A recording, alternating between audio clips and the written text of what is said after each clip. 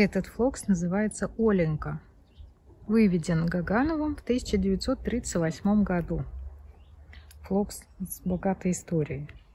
Размер цветка 3,7 см. Высота куста 85-90 см. Срок цветения средний. Светло-розовый с белой звездой и ярким малиновым колечком. Не выгорает. Написано в описании автора.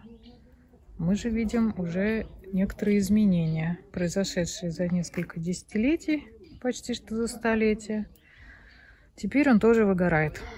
Соцветие округло-коническое, плотное, прекрасный, старинный, замечательный флокс, который можно встретить очень во многих местах, в парках, на участках. Мне кажется, он очень распространен, он очень узнаваемый. Поэтому нельзя сказать, нет, у вас пересорт. Он поэтому он у вас выгорает. Нет, к сожалению.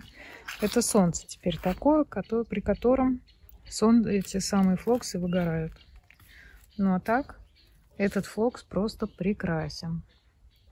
Мне кажется, что он очень яркий, веселый, такой жизнерадостный, приносит прекрасное настроение у нас как по дороге с дачи в Москву ехать, у одних около участка этот флокс растет. Но как же приятно всегда смотреть. Он такой радостный, прям вот создается обалденное всегда настроение, когда проезжаешь мимо, видишь его цветение, и сразу улучшается настроение.